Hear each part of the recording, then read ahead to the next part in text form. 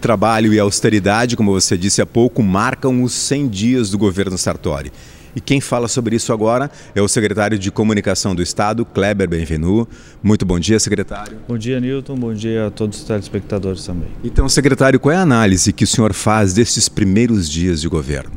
É, nós tivemos como marca Uh, e os atributos acho que são esse mesmo, trabalho e austeridade. Né? Desde o primeiro dia, dia 2 de janeiro, o governador assinou um decreto de contenção de, de despesas, especialmente nas áreas meio, né, de racionalização de custos, né, colocou para todos os secretários uma meta de austeridade, é, com o objetivo principal de proteger o serviço público nas áreas essenciais. Quer dizer, nós estamos aí prenunciando um déficit orçamentário um déficit financeiro de 5,4 bilhões uh, para o ano para este ano, portanto é necessário fazer esses ajustes, essas readequações uh, e o governo cuidou e está fazendo disso desde o primeiro dia, desde CC até revisão de contratos, 25% de revisão de todos os contratos, diminuição de cargos de confiança, cuidados grandes, pequenos e médios em todos os setores da administração para conter eh, gastos nas atividades meio, procurar preservar os serviços essenciais. Ao lado disso, o governo trabalhou muito, né? O governador anunciou no evento que teve no seminário de governo aí a, a atração de quase 10 bilhões de investimentos, alguns que já vinham encaminhados pelo governo anterior, mas muitos dos quais foram processos foram agilizados, acelerados uh, a partir da gestão do próprio governador, do secretário Fábio Branco.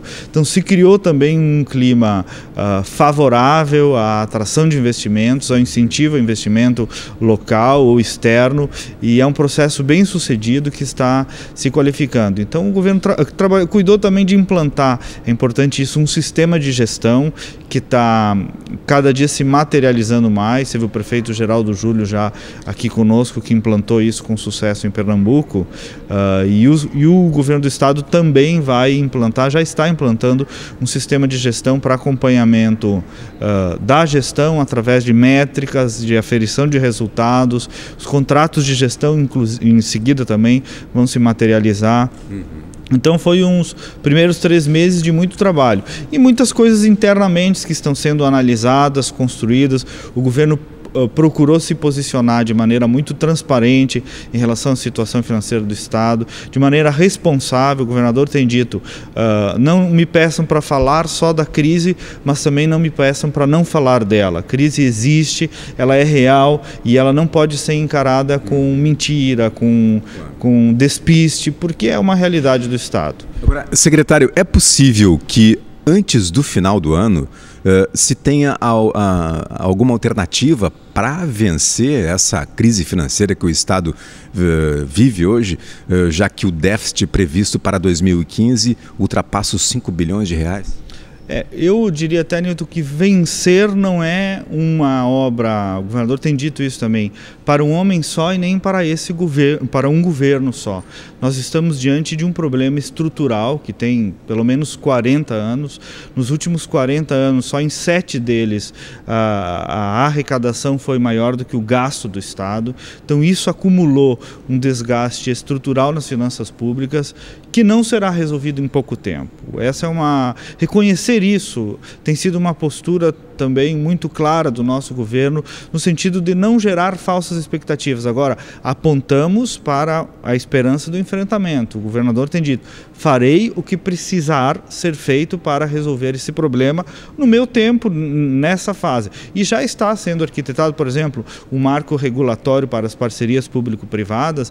É uma expectativa grande no, do governo, em que pese os problemas da economia, que também repercutem para um investidor em parcerias público-privadas, mas é uma expectativa grande do governo buscar as parcerias público-privadas como ferramenta rotineira de gestão. Né? Ah, as experiências do Brasil são um pouco demoradas, um pouco atrasadas, burocráticas. O, o governo está tentando criar um marco que permita as parcerias público-privadas em todas as áreas e de maneira mais ágil, uh, menos burocrática, uh, como uma forma de o Estado ter capacidade de investir. Né? E essa arrumação em toda a gestão pública, com acompanhamento dos projetos, a Secretaria Geral de Governo está fazendo muito esse trabalho, vai acompanhar no detalhe o andamento dos projetos, fazer com que as coisas sejam menos emperradas, menos burocráticas, que os serviços funcionem mais lá na ponta para o cidadão. E isso também, uh, em seguida, os resultados vão começar a aparecer. Então, o Rio Grande do Sul vai ter grandes notícias pela frente, sem dúvida alguma. Perfeito. Agora, secretário, o que o Estado busca com a caravana da transparência? É isso mesmo, ser transparente. Foi uma opção política que o governo fez de abrir as contas públicas, como talvez nunca se tenha feito. Uh, há uma exposição minuciosa da Secretaria da Fazenda sobre a situação financeira do Estado, como forma de respeito à população, como forma de apreço pela verdade.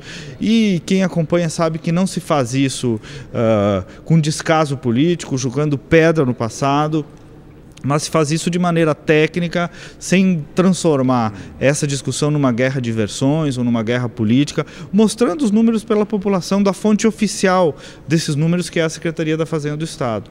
Então é isso, é apreço pela verdade, né? A, a, é, esta situação precisa ser percebida, ela não pode ser maquiada, ela não pode ser transfigurada, né? E, e conhecê-la é pressuposto para a gente poder seguir adiante. Então é basicamente isso, um compromisso de transparência transparência que o governo está procurando cumprir através do contato direto com as comunidades. Qual a próxima cidade gaúcha que recebe a caravana da transparência? Hoje nós teremos Pelotas, né? Uh, e ainda temos amanhã Lajeado e no dia 16 Caxias do Sul, encerrando então os nove encontros da caravana da transparência, que além da crise financeira discute também o plano plurianual. Então trata da situação atual, mas trata também de futuro, faz uma discussão de fundo sobre o plano plurianual do Estado, que também tem sido uma, uma ferramenta muito rica de discussão com a participação dos Coredes e de toda a comunidade regional. Então, secretário, para a gente concluir, que avaliação aí o senhor faz essas primeiras caravanas aí que já Uh, na verdade, estiveram em algumas cidades gaúchas? Tivemos uma excelente participação comunitária, as forças representativas das regiões muito presentes, muito atentas às mensagens do governo, solidárias à situação do Rio Grande do Sul e comprometidas à superação uh, dessas dificuldades. Há, se está criando aí um sentimento de unidade, de pertencimento ao Estado para a superação dessa situação. Muito obrigado, então. Este foi o secretário de Comunicação do Estado, Kleber Benvenu, que nos falou agora sobre os primeiros 100 dias de governo uh, do governo José Ivo Sartori.